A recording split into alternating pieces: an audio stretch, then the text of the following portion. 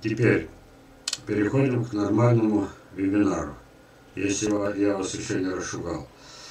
То есть, если кто-то уже сказал, да пошел с его заумными идеями. Ну ничего, кто останется, это значит останется. Так, смотрите. А, это вначале звучит как анекдот. Очень интересный анекдот. Есть такой очень популярный вебинар.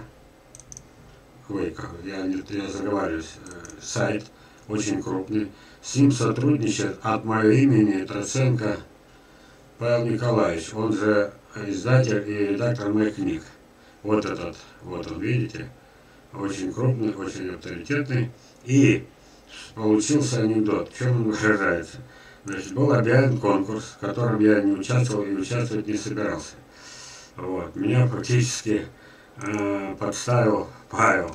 Он, э, значит, прислал мне вопрос от имени этого сайта, мол, э, ну, как все-таки я какой-то популярности имею, вот, мол, э, а подготовка к зиме в чем выражается? Ну, вы уже знаете меня, никто со стула не упадет.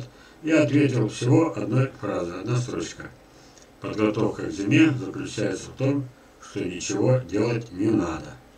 А дальше случилось невероятное. Я, оказывается, выиграл конкурс. Научный ответ я с этой строчкой. Вот. Мы очень рады будем строчку вспоминать это, потому что против нее существует гигантская литература по уничтожению садов. Против нескольких моих строчек. Вот. Как мне еще на книгу удается напечатать, непонятно при том, что практически ничего в саду делать не надо. Так вот, значит, присылает мне подарок этот сайт. Да, настоящий подарок. Как победителю конкурса. Вот он. Это очень красивая книга, толстая, иллюстрированная, в руках держать подарок. Но она мне не нужна. Почему? Я цветоводством не занимаюсь. Она у меня пролежит 10-100 лет.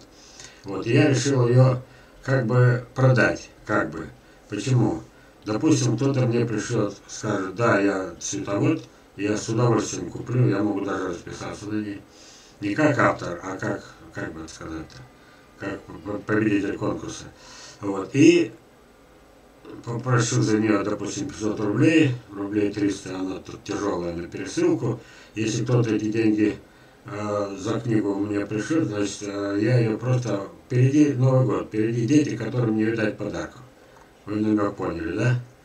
Вот, значит, вот эта книга, которая подарок мой, превратится в подарок для кого-то из детей, из небогатой семьи. Идем дальше. Значит, э, надеюсь, что кто-то все-таки, кто-то все-таки мне ее купит.